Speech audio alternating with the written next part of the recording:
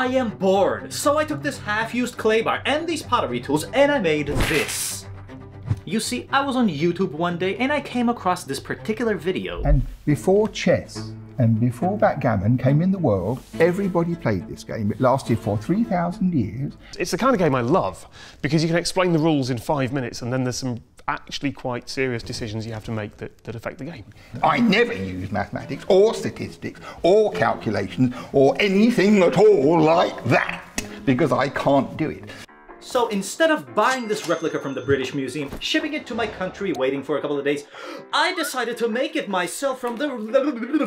Remind me the whole point of this video, what? Uh, you're bored? So, let's get to it. Oh, like I said, I have this leftover clay, some pottery tools, and a whole bunch of acrylic paint to finish off the final texturing of the board game. And as always, our dog, Tuta, is supervising the process. What do you have to say to that? They ask you how you are, you just have to say that you're fine. So let me just crack open my year and a half old clay packaging to start flattening out the top part of the board. I'm going approximately for a 5mm thickness as you can see, working and kneading this piece of clay because it is quite old. And I'm also trying to rehydrate this piece to make it more malleable. Give your meat a good old rub. Hey, okay, this needs to be extended more. In lengthwise, this thing has to be like up up until this point, so I have to stretch it. You have to what? Stretch it. You have to what? Stretch it. You have to what? Ah! yeah, boy. We get rid of bubbles by doing this. That's how you smooth it out.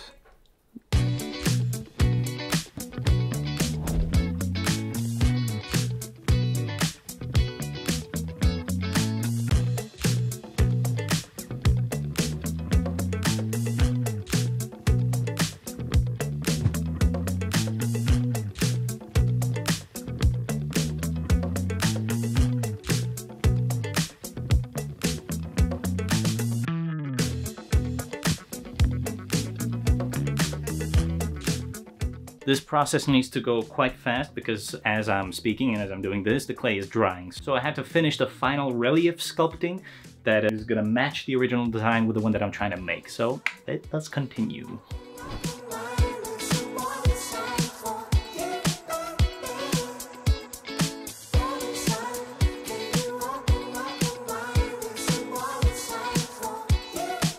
Now, as you can see, I'm getting to a point where I'm detailing little flourishes and decorations within these square modules. And all of these modules have their own particular powers when you place your playing pieces according to different kinds of rules. There's a simple game and there's a more complex version of rules that you can use while playing this game. So, time to do some surgical details. No.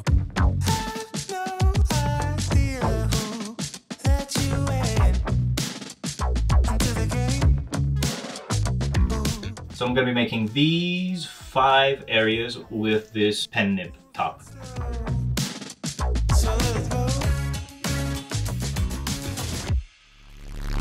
It's going well. Uh, I'm having fun. I'm listening to Irving Finkel right now, talking in my ear about this game. When I went to school, the teacher wrote to my parents in maths saying that I needed to be sedated before class because I behaved so badly, and I've never been able to count above 10 on my own. Yeah, I think I'm gonna do the eyes now.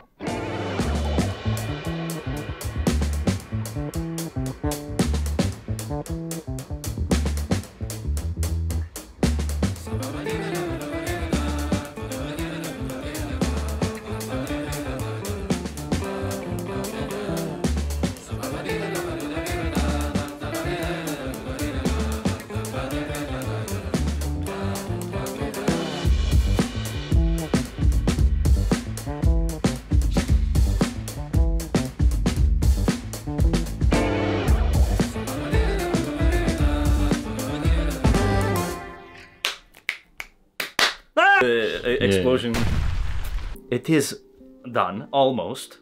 Uh, there are a few details that I want to add. If you'll notice in the reference image, there are these small white ivory squares that are inlaid within the edge of this entire board. I want to replicate that, but also I want to imitate how these indigo rectangles are placed in between all of these square tiles. Later on I can also mm, paint them in a particular kind of texture to elicit the same sort of luxurious effect, which would be nice.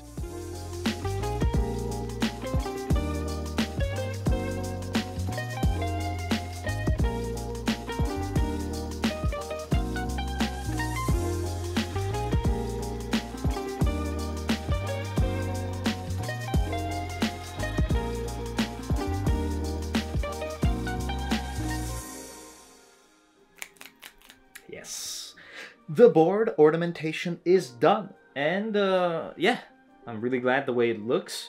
All that's left for me to do is to make four tetrahedral shaped dice pieces and uh, 14 uh, playable pieces for two of the players, which are uh, white pieces and uh, black pieces. So,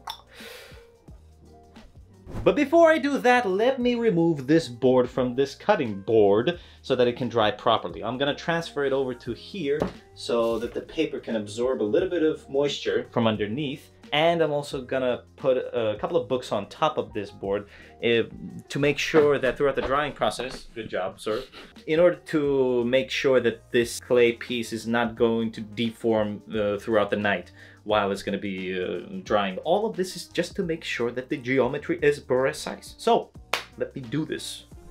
Get in here and help it. Yep. Okay.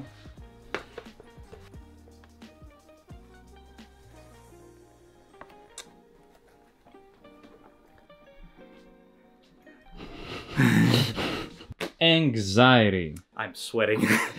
Nice. We have to wait for at least uh, 24 uh, hours. Okay. So, yes. Amazing. Uh, only a few things that are left uh, is the die pieces and the playable pieces. Right. Ah, yes, the last part of clay sculpting where I get to shape the playable pieces and the die, which got me thinking about how the ancient Sumerians used to do this same exact thing. It's kind of crazy and fascinating that I or anyone who wants to try to do this gets to look into this very past through this process. Yes, the final pieces are done, and now all that's left is for us to wait for these pieces to dry. And we're gonna continue tomorrow. But before we do that, we surely deserve an artist's break, which means A few kilometers later.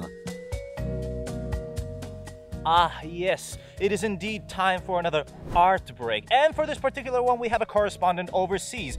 David, Yes, Soso. could you show us an example of what modern or contemporary art looks like? All right. So we're right now at the MASS MoCA Museum. How about we jump in? Now in this museum, we have such artists as Joseph Grigely, exhibiting their wine bottle capsule tower that is signifying what the stress amounts to in his daily life. Mm. As we continue, we approach a single-seat roller coaster cabin on a pink rail. Provided a lot of information you can read if you pause this video. After which we continue with Kelly Ray Adams and their artwork which represents the student loans in the US that totals over 1.8 trillion dollars. Oh my, I can't even fathom this enormous financial issue since I have studied in a post-Soviet university where the building was falling apart. Now let's check this out.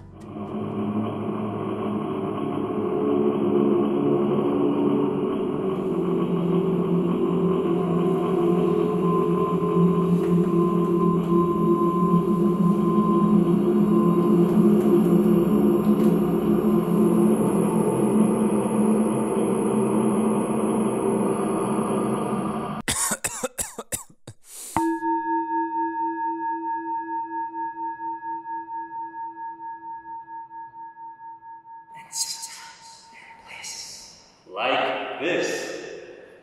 I don't know if you can hear this, but this insanely amazing. The sound is just cool. I, I hope you can hear this okay. Uh, David, David, David. Yes, sir. Could you take me to an exhibition where there are more interactive art pieces or so? Well, lucky you. I'm right here.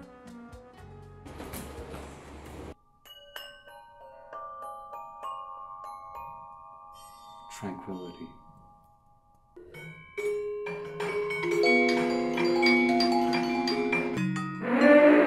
Whoa. that sounds like uh, Christmas bells.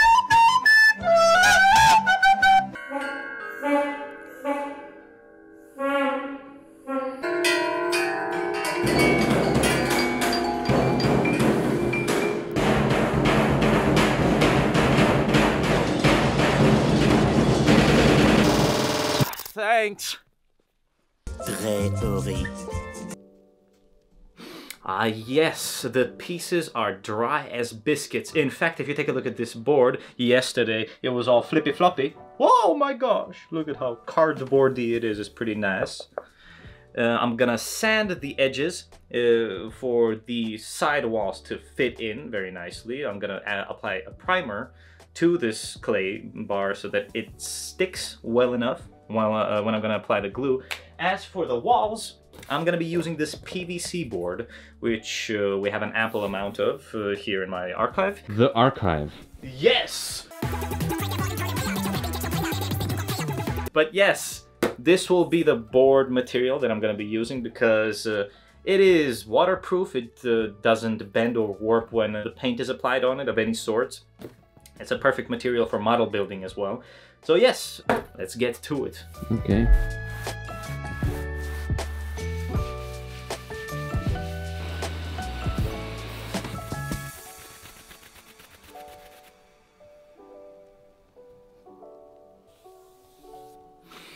Mmm, yes, time to me to slice.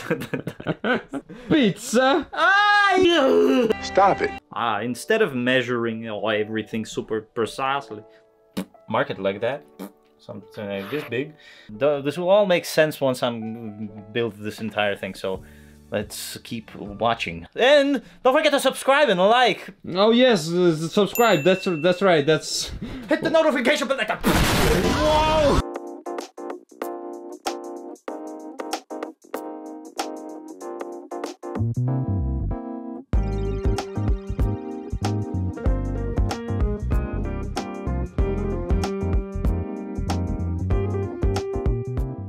Imagine there's like walls all around it. And it's gonna be working in this way. Wow.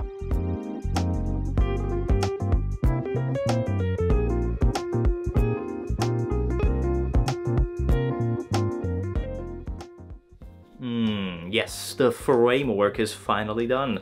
All of the necessary parts are built for me to finally glue the top board on top of the main chamber with the drawer that I made, which if you'll notice, I've designed the inner drawer uh, with a T-shaped kind of a stopper allowing this uh, drawer to hold itself in place when I'm removing all of the pieces from outside of the chamber without the drawer kind of dropping outside of it. And also this middle section, there's an additional sort of a wall because you know sometimes you kind of want to slam the playing pieces with aggression in order to destroy your opponents. So to avoid the entire board breaking in half and caving in you know this is a nice structural support to add within the box. Yes but if you'll notice me and my brother are very very tired. Very tired. Yes, and uh, I think uh, the painting and, well, first priming and painting and varnishing, we're gonna leave it for tomorrow when there's gonna be a bit of daylight as well, and it's gonna be a little bit more. Mm, true, true. Yes. Good morning, Earthlings! What a day it would be without a proper dosage of caffeine ingested inside our bodies in the shape of Cafe Cubano. So we have a moka. So we have a moka pot, a little bit of sugar, a little bit of coffee, two glasses, glass ones preferred so you can see the proper foam forming. Mmm, so good. Now, let me show you the process. So first we open up our moka pot. Now, keep in mind, there are two main chambers. One that holds the water, one that holds the coffee grains, and the one where the boiling water passes through the coffee chamber and then pours into this final pouring chamber. So there are eight steps. I mean, uh, do I say everything now? Yeah. Ah, so there are eight steps.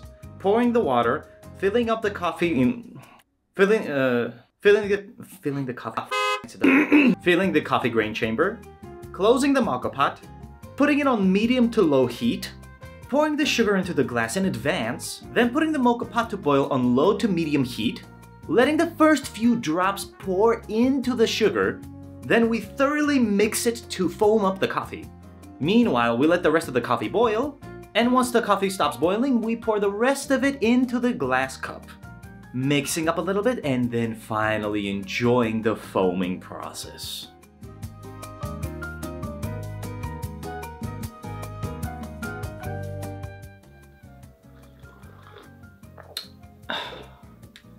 Supreme. Yes. Indeed, very good. And I am about to move on to priming the little drawer because you'll notice if I'll close this entire chamber, I won't be able to properly apply paint on these sides in such a way that the paint is going to go deeper and beyond these out outer walls. So I'm gonna grab this, prime the outer layers as much as I can, including the underneath side and everything from the inside. Paint it with a general looking sort of a texture. You'll notice the sort of uh, paint that I want to replicate. It will be similar to the inner lighter square texture. That is kind of like beige, yeah, sort of earthy color. So, yes indeed, now it is time for me to prime. Milk.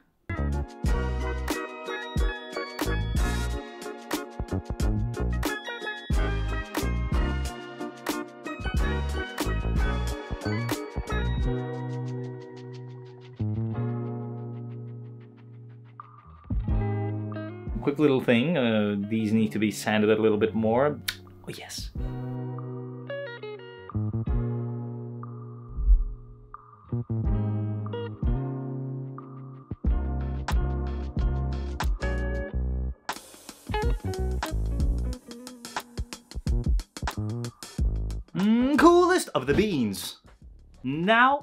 I am going to paint the base color of the drawer, the inside of the drawer chamber a little bit, and uh, that's pretty much it, I think. Alrighty then, ah... Indeed, and I'm using warm colors such as magenta, yellow, and orange to mix with a white paint so that I can get this earthy, creamy looking color. And uh, this process right now is quite straightforward, you know, painting this box, but you'll notice that later on I'll be adding little dabs of dark brown and maroon red color in order to give this box a deeper, weathered texture to create an illusion of sort of like time and how, you know, realistically speaking, this is an ancient and royal game of Ur from the ancient Sumeria.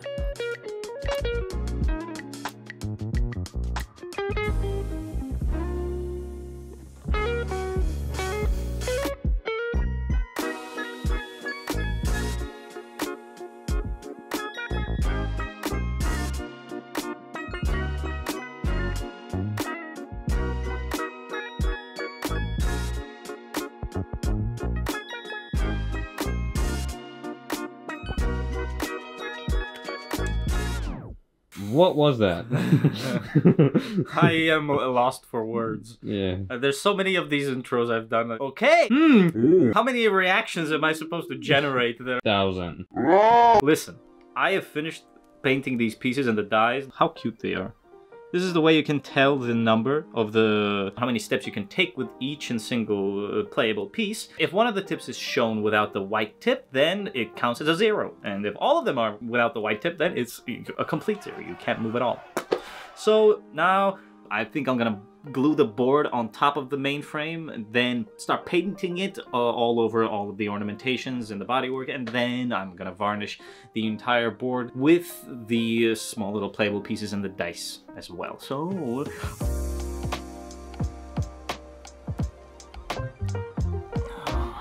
take a look. This is flush.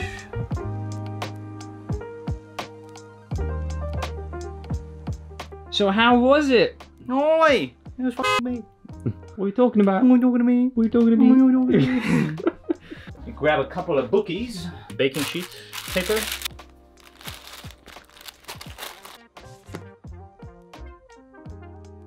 A few inches later. It has been glued. Solid. Solid, solid, solid connectione.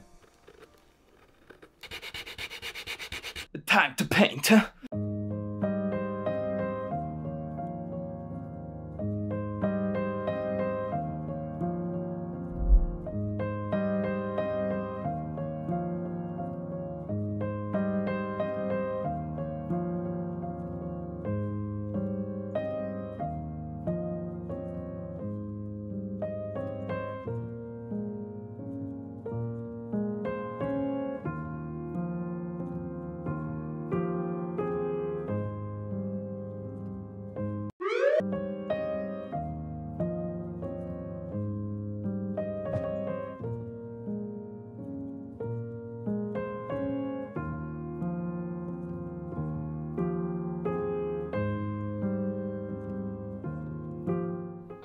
Looking pretty good, looking pretty good. What are you doing, mommy? Step aside, Donny. ah, says, I, I can't let you do it. Get away, Donny. Everybody's having a good time. We have a barbecue already. But it could be better. If anybody understands this reference, Props. props. Continue on!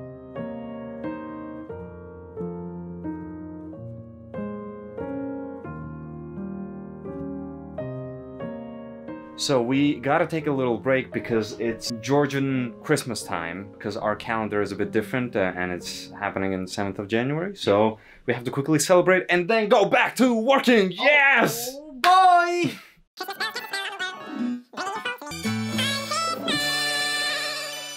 And we're back to work. Yes! I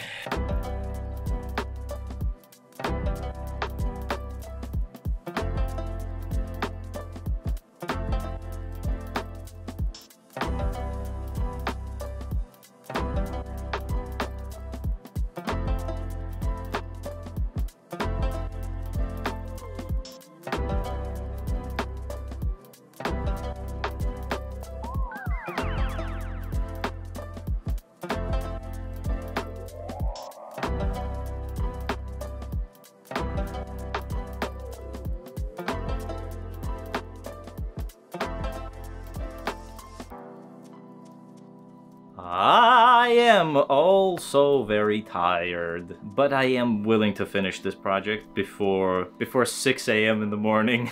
It is. What time it is? It's it's almost 2 a.m. It doesn't feel like it. Yeah. But we have to finish it today. Yes, for tomorrow we are going back to the village. It's so peaceful there, barely any noise. The city hustle and bustle is restaurant noises and music every day in and out in the same routine of music playlists playing outside of my window. But the task at hand is to color the top part of the board.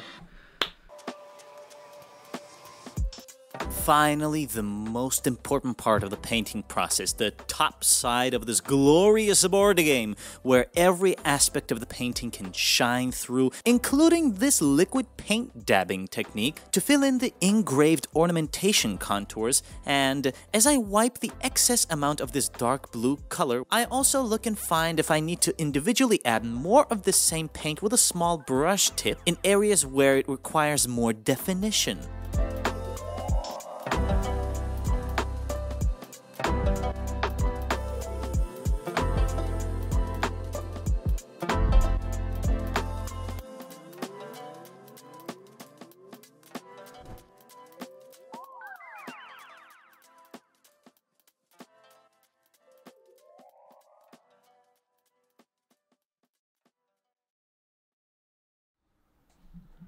Just the red ones are left and I'm gonna be done for today. you can see in your eyes it's like red. Hey. 5 a.m. And I'm so close to finishing the final ornamentation, might as well, you know. yes. So, uh, yeah.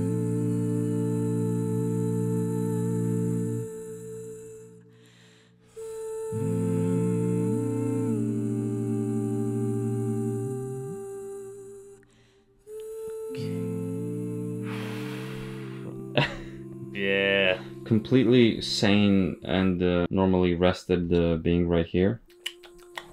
Alright, it's done. All that's left is to varnish it, but uh, I want for the paint to fully dry, so I think it's a good idea for me and David to go and take a nap.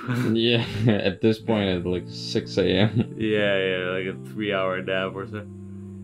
Why are we doing this? Listen, it's artist's life. Sometimes you're compelled to do There was no reason to Yeah. stay up. no, there's no reason for me to make a royal game of True. war. That's why. Become an artist and just circ circum circum Circum, circum. Circ- circumference. I've mm, Succumb to the succumb artist's to this uh, unexplained suffering. Indeed. but yes, let's just jump to the next day and see the final result.